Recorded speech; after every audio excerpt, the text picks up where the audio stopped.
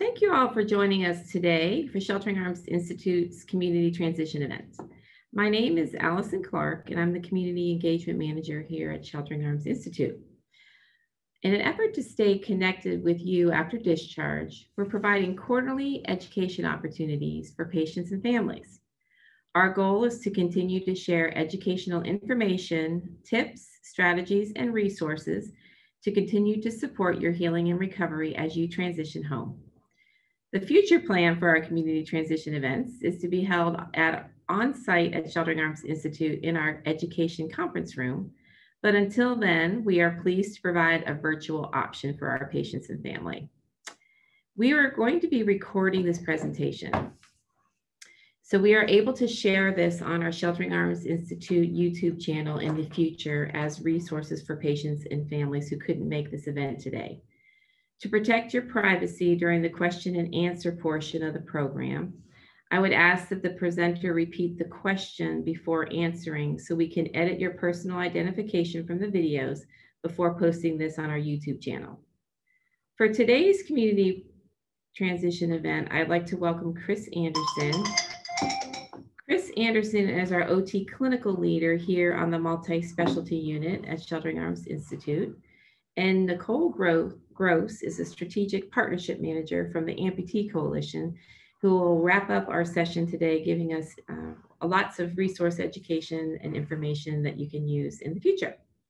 So Chris is going to discuss energy conservation and home safety, and then Nicole will follow up with an overview of the Amputee Coalition. So I think we're ready to get started. I'm going to turn this over to Chris Andersen to begin the clinical education portion of the program.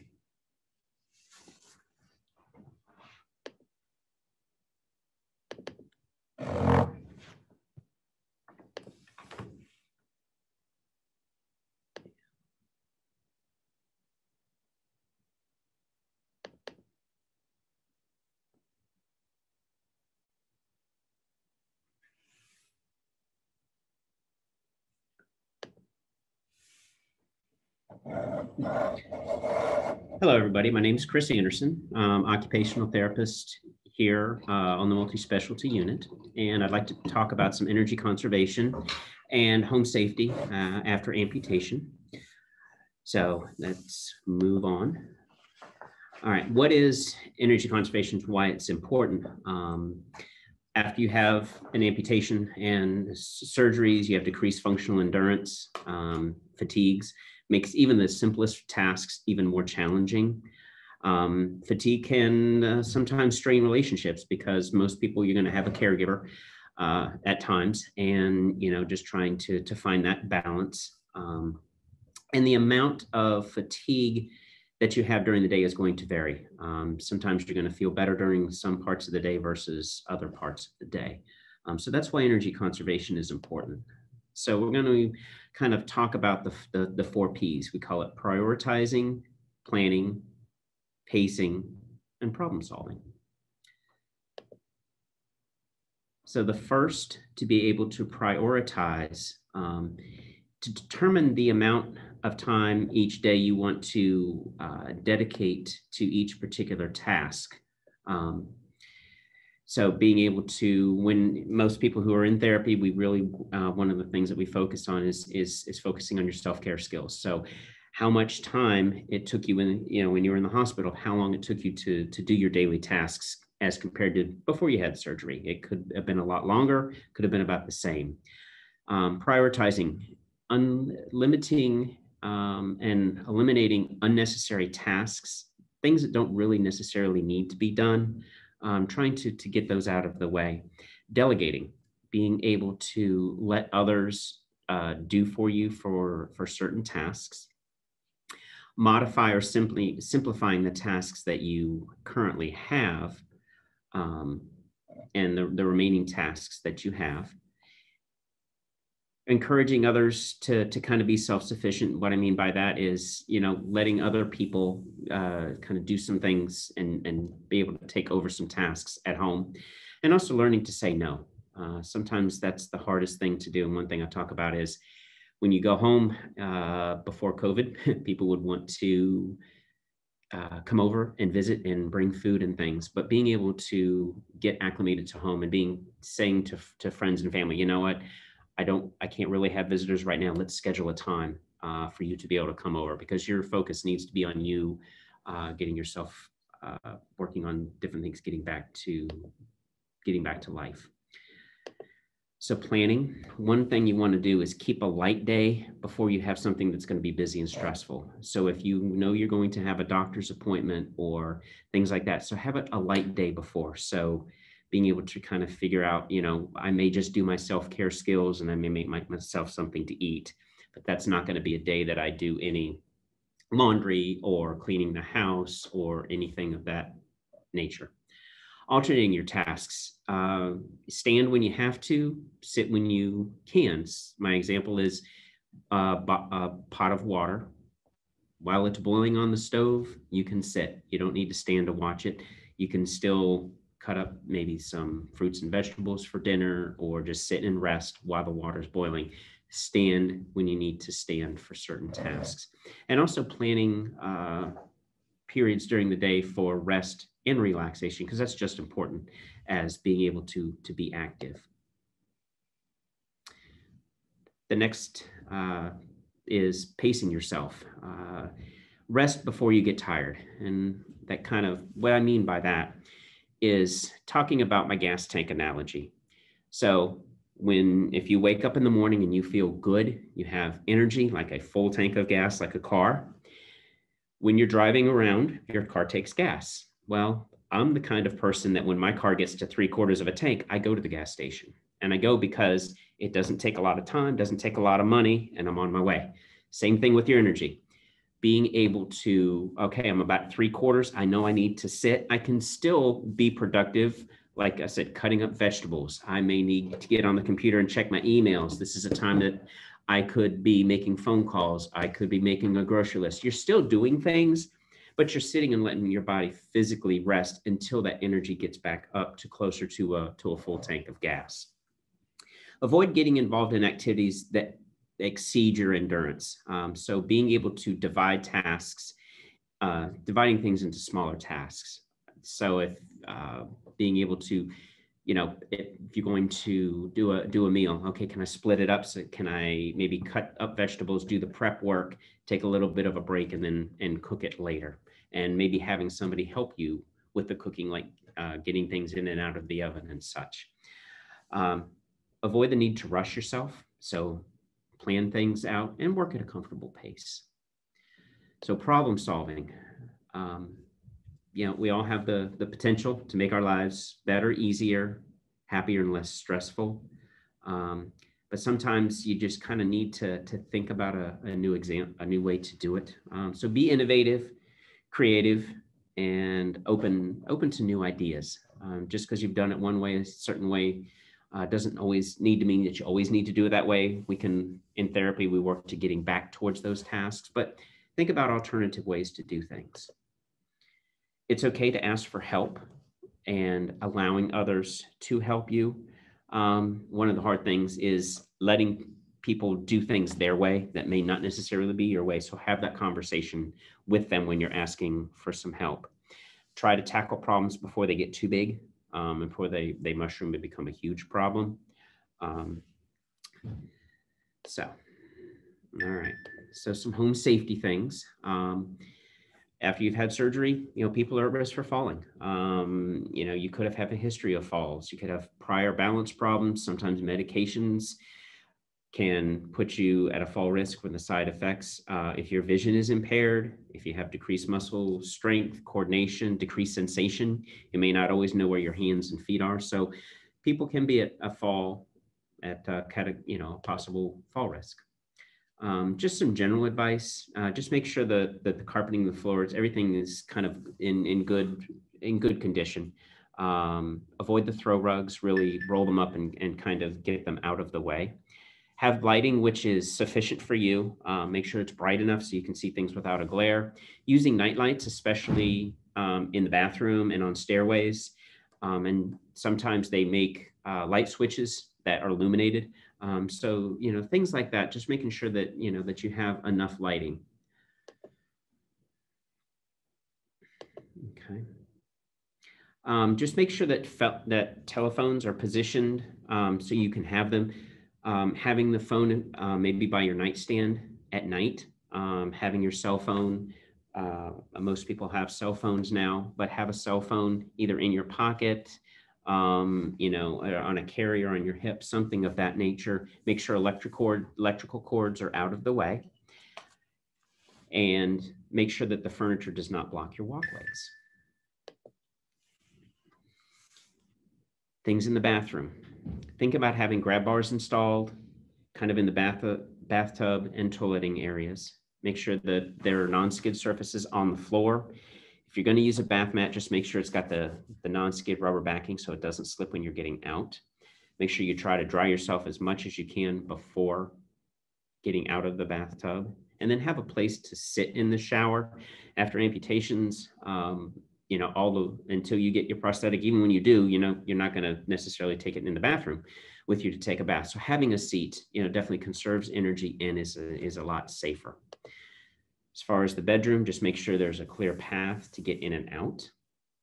Have next to your, uh, on your side table, have eyeglasses if you need it, a phone, a clock, any medications that you might need to take at night or first thing in the morning. Um, just make sure that you have shoes uh, close to your bedside um, so that you are less likely to have a fall. And then if you need to have a bedside commode or a urinal just for safety in the middle of the night, if you have to go, it comes, may go kind of quick. So being able to safely get into the chair, into the bathroom, out of the chair, onto the commode might be too late. Um, so maybe having a bedside commode might be a, a, good option. In the kitchen, just make sure that uh, you try to clear up any spills that may have happened.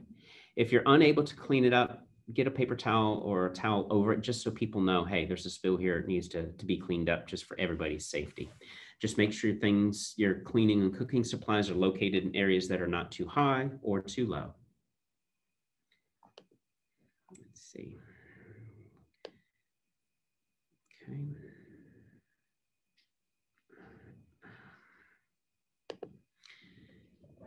All right, living room, same thing, kind of walkways, make sure the furniture is in, if you're in a wheelchair, there's enough room to get around. If you're using a walker, just make sure that the, the furniture is, uh, is out of the way. Uh, make sure that, the, that they're safe and high enough for you to, to get up and down. Last thing I want to talk about is medical alert systems. Um, there are definitely, there are examples of life alert, uh, medical guardian, things of that nature. The other thing, when I started teaching this class, um, somebody suggested to me, hey, what about Alexa? That's a great thing. Um, a lot of smartwatches now have uh, Siri, they have Google. So you can just, you know, use your phone or your smartwatch to, to be able to, to call if, uh, if you don't have the life alert and things of that nature.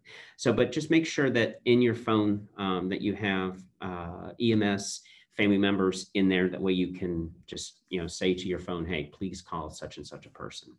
Uh, so let's see, I think here are some pictures of the watch. Sometimes they come on lanyards. They have uh, buttons to be able to have in the bathroom and such. Last slide, talking about fire safety, just make sure that you have smoke detectors and carbon monoxide detectors and that they're in working order. Um, when an emergency happens, you don't have much time. Um, so make sure that you have those items. Make sure you know where your exit is, and have an have a, an action plan with uh, and discuss that with with family and with friends. And big, no smoking. Um, if you or your family member are on oxygen at home, very combustible, and you know we don't want uh, any harmful things to happen. All right. Thank you very much. Thank you, Chris. I appreciate the helpful tips and resources. I'm sure there's something in there that's going to be helpful for everyone. Okay, next I'd like to introduce Nicole Gross from the Amputee Coalition.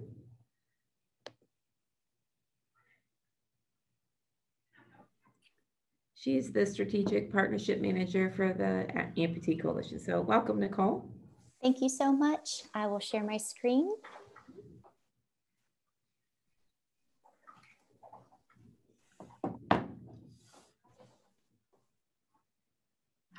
Please let me know when you can see it.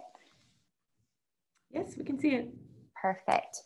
Um, thank you everyone for giving me the opportunity to introduce the Amputee Coalition. We're, we're so thankful for Sheltering Arms Institute to be one of our valued hospital partners. Um, it is an integral that we ensure that no one goes through their journey with limb loss or limb difference alone. And through the connection with our hospital partners, we can ensure that both the healthcare staff and the patients and their families learn about our mission, understand the value of peer support, and the ways that we can help connect communities together, um, all for the purpose of just making sure that those at risk for an amputation, those impacted by limb difference, and those that have gone through a traumatic amputation or other causes that relate to an amputation connect with resources, education, and support. Um, as Allison mentioned, my name is Nicole Gross. I'm the strategic partnership with the Amputee Coalition, and I've been with the coalition for a little over three years. Uh, my, excuse me, my family has been personally impacted by limb loss um, after the 2013 Boston Marathon bombing. So I feel very connected to our mission and want to help others ensure that there are um, resources available um, to navigate you through the journey, both for the individuals impacted by limb loss as well as the caregivers. On this slide, you'll see that our mission is very powerful. We are reaching out and empowering people impacted by limb loss and limb difference to achieve their full potential through education, support, and advocacy, and to promote limb loss prevention.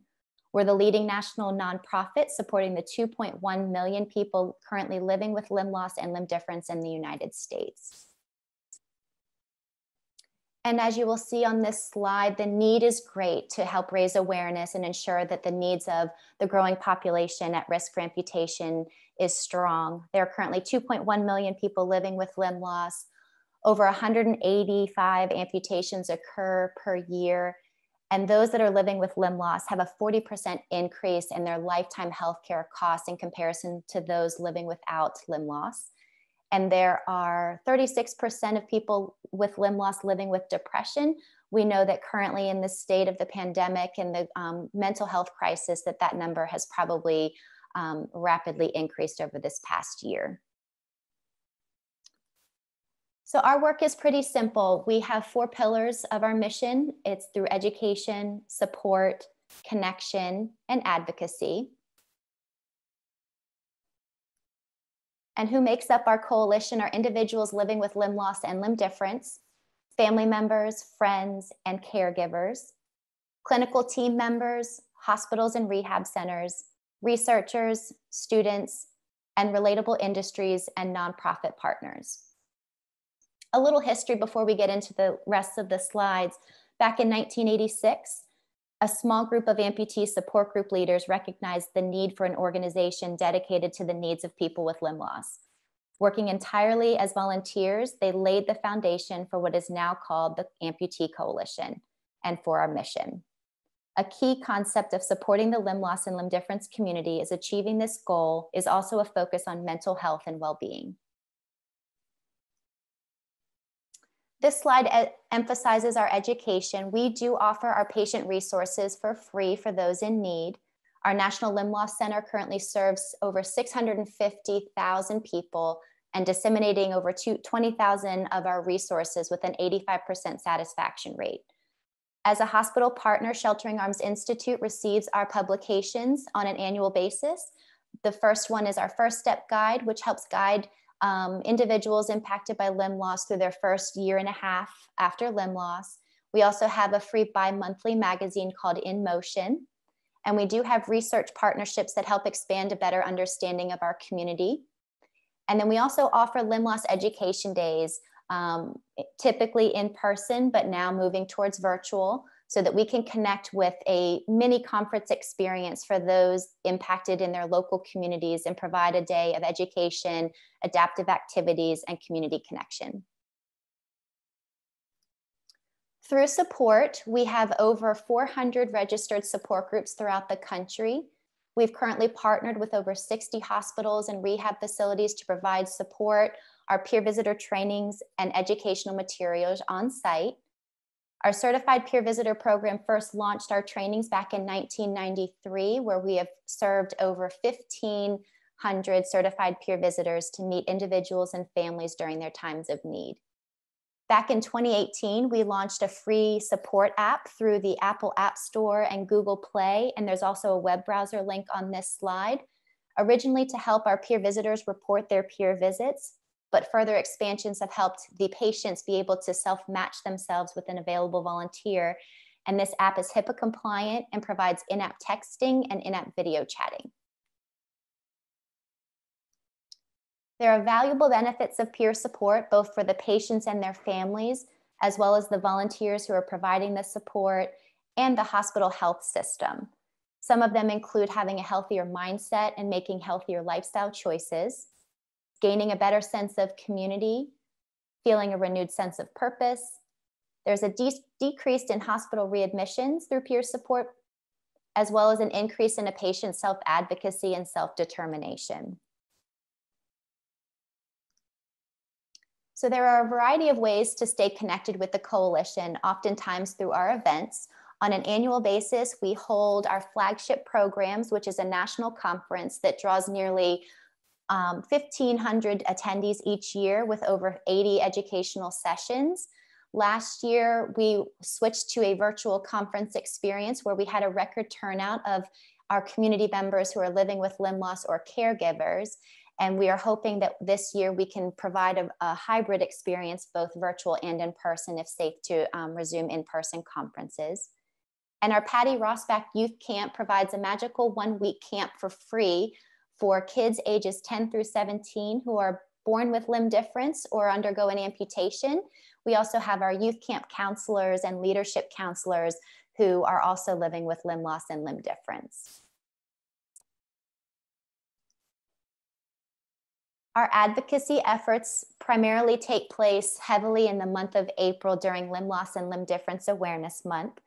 When we were able to go in person, we would go up on the Hill after undergoing some advocacy training to help educate legislators and our local governments to understand the insurance fairness rights of those living with limb loss and limb difference and the impact of the healthcare costs associated with it. We have um, details on our website about our 2021 Advocacy Forum, um, currently taking place in the month of April over two days virtually. So we'd love to have any interest from your community that would like to get involved in advocacy and sharing your voice and your stories. And on the next slide is about awareness. As mentioned, April is our awareness month. The last Saturday of April each month is Show Your Mettle Day. We have information on our website currently about how you can get involved through this campaign. And as mentioned, our advocacy forum takes place each April. After discharge, we'd love to connect with patients and families to ensure that you are getting the resources that you need as your journey evolves. So this slide provides you some ways to connect with our National Limb Loss Resource Center at 888-267-5669 or visit our website at www.amputee-coalition.org. We also are on Facebook, Twitter, Instagram, and YouTube. And before closing, I just want to say thank you to Sheltering Arms Institute for the valued partnership. We have provided additional resources that are available um, for patients upon discharge for takeaway handouts. If you choose to accept a peer visit, if it's offered to you during your stay, we would love to connect you with a certified peer visitor or a certified family peer visitor. But we also know that there may be opportunities to feel more interested in a peer visit when you're not so overwhelmed in the hospital. So there are ways that you can stay connected with us through some handouts that are provided to you. You can request a peer visit directly from our website through an online request form. You can call the coalition through our 800 number. You can send an email to peer support at amputee-coalition.org, or you can download our support app from the Apple App Store or Google Play, or on the web browser link that's also available on our website. We want to make sure that you have the resources and the connection to support to ensure that you don't feel alone on your journey. Thank you so much for the opportunity to share a little bit of insight as to the big mission of the Amputee Coalition and we would love to stay connected with you to help you stay connected. Thank you so much, Nicole. We greatly appreciate all the uh, resources and information that you share with us so we can pass it on to our patients. Uh, it's a fantastic resource, and I encourage everybody to uh, reach out to the Amputee Coalition. They provide uh, fantastic services that can really help you in your journey across uh, your entire recovery. So, thank you so much. And that concludes our presentation for today. Our next amputee community translation event will be in June, um, and we will be emailing invitations out to folks to participate. Uh, these will soon be posted on our Sheltering Arms Institute YouTube channel for your reference in the future. So thank you so much for Chris and Nicole for your time today. We greatly appreciate it.